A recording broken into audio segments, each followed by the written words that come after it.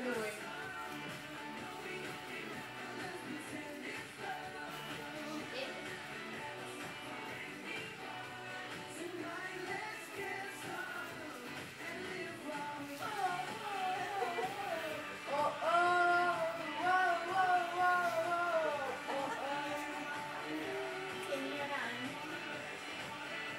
Tonight, let's get some.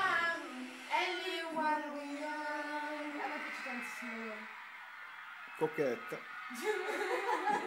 Esatto. e in un attimo che si va su Facebook.